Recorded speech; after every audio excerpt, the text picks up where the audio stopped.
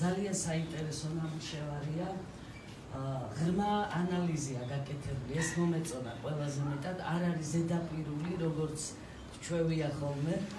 ხშირად საინტერესოა ის, რომ გამოკვეთილია თვითონ მედია საშუალებების როლი ამ პროცესებში, განსაკუთრებით კრიზისებში. მე მომეწონა განსაკუთრებულად აგვისტოს ომის თავი და ვარდების რევოლუციის ნაწილი, სადაც ზუსტად არის მიგნებული აი ის წერტილები, სადაც იკვეთება კრიზისების გაშუქების პროცესში მედიის უმთავრესი როლი. და მოგეხსენებათ მედია ეს არის ის ერთ-ერთი ხელისუფლება, რომელიც ხან თავად ქმნის კრიზისებს.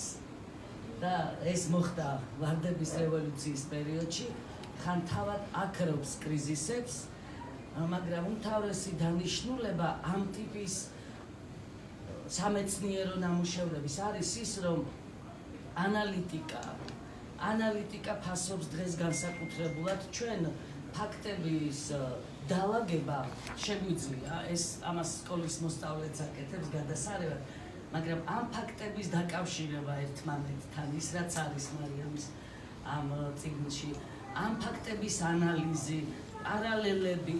ეს არის ძალიან მნიშვნელოვანი და აი დღევანდელ პრეზენტაციას ჩემი ქალიშვილიც ესწრება და მე მინდა პირველ რიგში ნინოს ურჩიო რომ წაიკითხოს ეს წიგნი და შემდეგ ნინოს თაობასაც და ჩემ თაობას და ჩვენ თაობას რა თქმა უნდა მე წარმატებებს გისურვებ და ეს წიგნი ჩემი სამაგიდო წიგნი გახდა იმ დღიდან რაც მაჩუკეთ გუშინდელი დღიდან და მე შევეცდები რომ პოპულარიზაცია გაუწიო ამას. თუ გვექნება ინგლისური ვარიანტი ამ წიგნის სანამ მე პარლამენტში ვარ მე შემიძლია ეს სასაჩუქრე სერია იყოს იმელჩებისთვის და საერთაშორისო ორგანიზაციების წარმომადგენლებისთვის რომლებიც ხშირად სტუმრობენ და ამითი ჩვენ ვაჩვენებთ რომ ყავს კომპეტენტური ანალიტიკოსები ჩვენს ქვეყანაში და მათთვისაც საინტერესო იქნება ეს ციგნი. დიდი მადლობა.